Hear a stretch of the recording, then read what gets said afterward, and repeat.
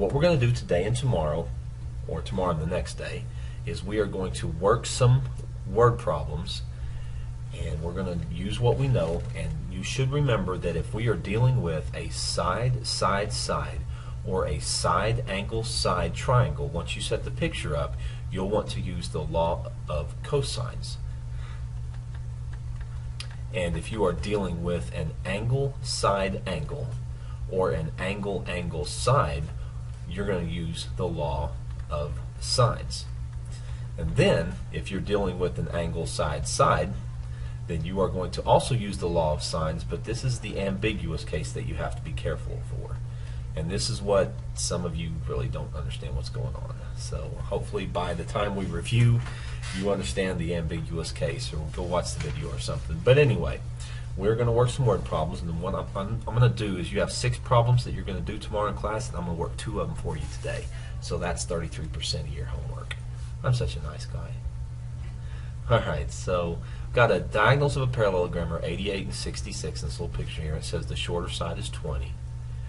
And I have to find the acute angle formed by these diagonals. Now, if you didn't know, in a parallelogram, the diagonals will bisect each other. So I'm, I'm going to blow this picture up here and make it a little bit larger. So let's take a look at that left-hand side, just that triangle on the left-hand side. The shorter side is 20. Now this shorter diagonal that's going from top left to bottom right is, is 66 in length. Um, and half of that is going to be 33. So this is 33. The longer diagonal that's going from bottom left to the top right is 88 centimeters, and half of that is 44. So this is a blown up picture of what's inside right here. And we are supposed to find this acute angle. So let's take a look at what we have. Our givens are all three sides, so this is clearly a side, side, side triangle. So we are going to use the law of cosines to find this missing angle. So I will set up my law of cosines equation, which is c squared equals a squared plus b squared minus 2ab cosine of angle C. And so what I'm going to do here is I'm going to call this angle C and I'll call this angle A, and I'll call this angle B. So 20 will be side length C, and 33 will be side length A, and 44 will be side length B. So let's put this into our formula. 20 squared equals 33 squared plus 44 squared minus 2 times 33 times 44 times the cosine of that angle C. I'm going to go ahead and solve this for the cosine of angle C. So I'll get 20 squared minus 33 squared minus 44 squared. That's all divided by negative 2 times 33 times 44. And I'm going to take the arc cosine of this, and that will give me angle C. So if you put this in on your calculator, you do the arc cosine of all of this stuff. Let me see if I can do that real quick. I think I did that earlier and I got 25.3 degrees. So you might check that, but I'm pretty sure.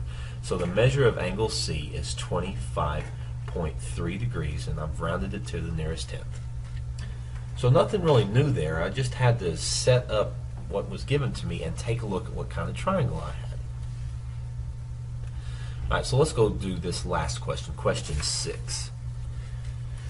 And I've got this vertical tower which means it makes a 90 degree angle with the horizontal from that point. So I'm going to extend this triangle here. So the 90 degree angle is right here.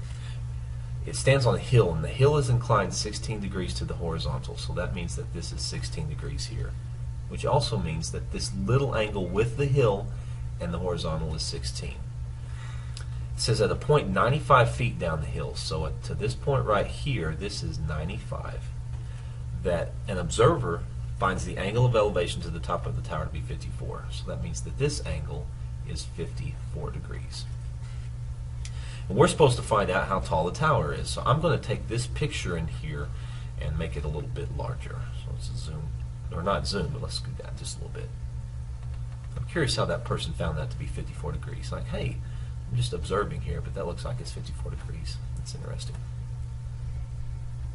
All right. Well, I wish I could have drawn that a better line. Anyway, so here is a worse picture, but at least it's bigger. This angle is 16, this angle is 54, this side length is 95, and I'm looking for this height right here. So let's go through some, what we know. If this angle is 54 plus 16, that angle is a total of 70 degrees. So I'm looking at the big triangle here. If this total is 70 and this is 90, but 90 plus 70 is 160, that means that this top acute angle is 20 degrees. So I am now going to focus in on this oblique triangle that has a 95 side length, the 54 angle, and the 20 there. I'm gonna, I'm even going to redraw that. Oh, look at that. We're going to the eraser for that. That's horrible. La, yeah, that's that was bad. Okay. Get a little sheet of paper here. Make this straighter. A little bit better. Okay, extend this down just a little bit further. Go up like that. All right. Wow. Uh, you're just going to have to forgive me. I'll get my eraser out here a little bit, but that's a little bitty erasing. Uh, okay, and I'll erase a little bit over here. Okay, so that was a complete failure drawing that triangle. But anyway.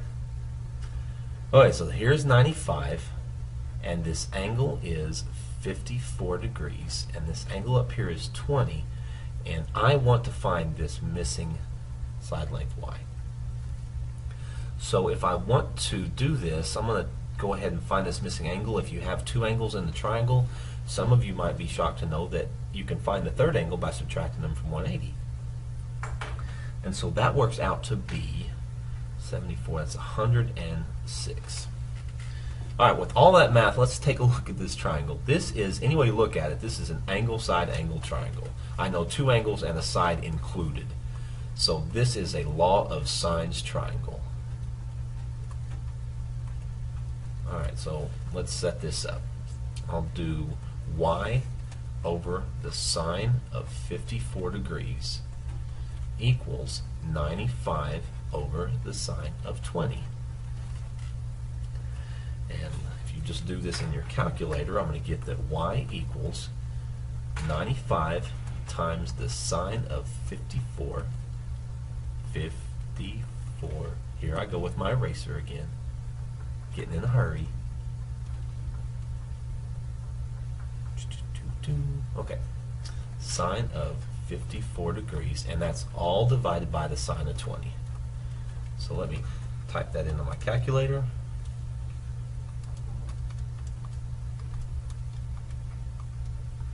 And I'm getting 224.7. It says nearest tenth.